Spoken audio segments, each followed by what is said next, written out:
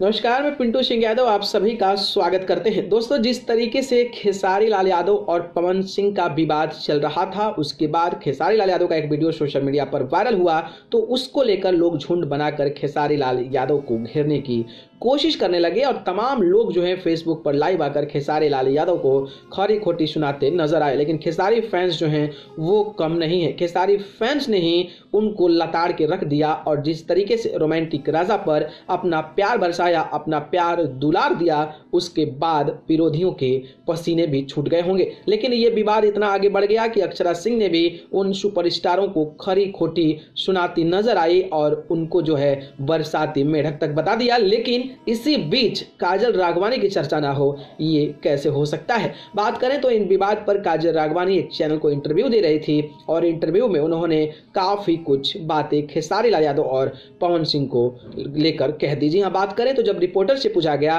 कि खेसारी लाल यादव और पवन सिंह के विवाद पर आप क्या सोचते हैं तो उन्होंने कहा कि पता नहीं, ये बड़े सुपरस्टार हैं। दोनों बड़े सुपरस्टार हैं, दोनों मेहनत करते हैं, लेकिन पता नहीं भोजपुरी इंडस्ट्री को किस ओर ले जा रहे हैं, क्या कर रहे हैं, क्या सोच रहे हैं, क्यों अपने आप में ये ऐसे कर रहे हैं, मुझे ये नहीं पता। यानी कि इन्होंने हालाँकि जो सवाल है उस जवाब को कहीं ना कहीं घुमा कर दिया। वहीं बात करें तो खेसारी लाल यादव के जब बारे में पूछा गया तो उन्होंने कहा कि हाँ खेसारी लाल यादव जी तो अच्छे हैं ही, मैं उनके साथ लॉन्ग टाइम तक काम किया हूँ, सब कोई अच्छा है, लेकिन वो डिप्लोमेटिक अंदाज में जो है काजल राघवानी ने अपना बयान दर्ज कराया और उन्होंने ये भी कहा कि हम लड़कियों को बोलने कहा दिया जाता है। भोजपुरी इंडस्ट्री में बिना एक्टर के कुछ नहीं हो सकता है। हम लड़कियाँ बोलेंगे तो हमें दबा दिया जाएगा। इस प्रकार की तमाम जो चीज़ें हैं, वो कहीं ना कहीं डिप्लोमेटिक अंदाज में काजल राघवानी ने किया है। हालाँकि कुछ लोग ये कमेंट कर रहे हैं कि खेसारी लाल यादव के साथ इतने दिन काम किए हैं। खेसारी लाल यादव के साथ चमकती सितारा थी। खेसारी लाल यादव ने